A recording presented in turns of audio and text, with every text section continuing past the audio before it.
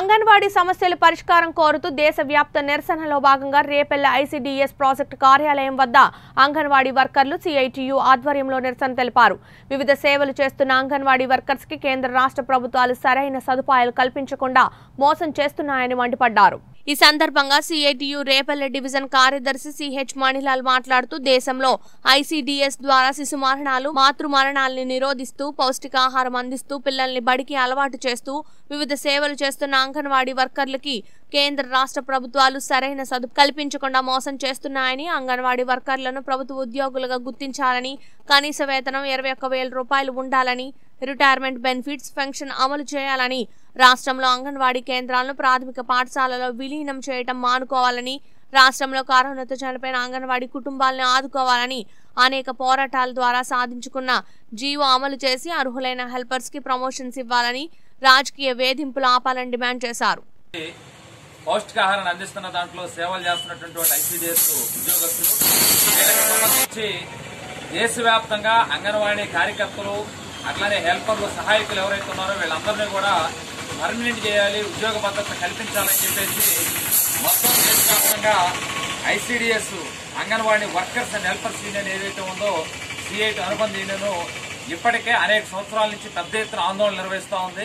ప్రతి ఏడాది కూడా అంగన్వాడీల కోరికల దినోత్సవం అని చెప్పేసి జూలై మాసంలో ప్రతి ఏడాది అంగన్వాడీలు దేశవ్యాప్తంగా ఆందోళన నిర్వహించి వాళ్ళ యొక్క డిమాండ్స్ ఏవైతే కోరికల పత్రాన్ని ఐసీడీఎస్ కార్యాలయాల్లో అట్లానే దేశవ్యాప్తంగా ఉన్న ఐసీడీఎస్ అధికారులు ఎవరైతే వీళ్ళందరికీ ఇచ్చే కార్యక్రమం జరుగుతోంది. ఇప్పుడున్నటువంటి కరోనా వీటన్నిటి పరిస్థితుల్లో పరిమితమైన సంఖ్యలో అయినా సరే అన్ని ప్రాజెక్టు కార్యాలయాలు ఆంధ్ర రాష్ట్రంలో కూడా ఈ వెనుక పత్రాలు ఇవ్వాలని చెప్పేసి కార్యక్రమం తీసుకోవడం జరిగింది. ఈరోజు అంగన్వాడీ వర్కర్లు హెల్పర్లు అడుగుతున్నటువంటి చాలా న్యాయమైన డిమాండ్స్. ఈరోజు ఆంధ్ర రాష్ట్రంలో ప్రత్యేక నుండి కొన్ని సమస్యలు కూడా ముందుకు వస్తూ ఉన్నాయి.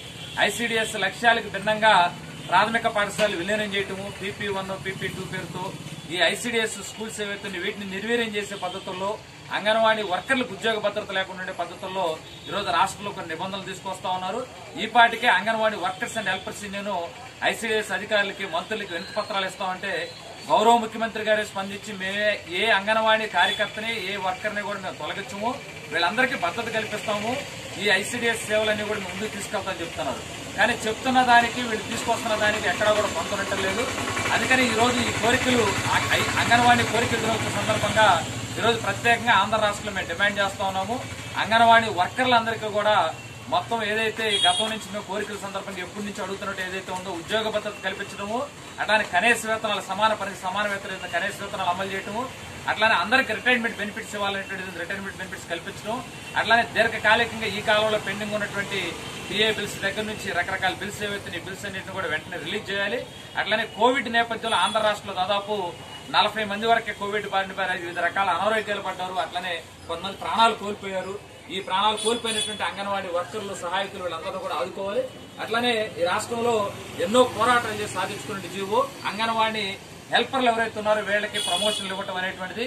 ఈ ప్రమోషన్లు ఇచ్చే దాంట్లో చాలా చోట్ల ప్రమోషన్ ఇవ్వకుండా రాజకీయాలకు అతీతంగా రాజకీయ నాయకులు వీళ్ళందరూ అడ్డుపడుతూ ఉన్నారు.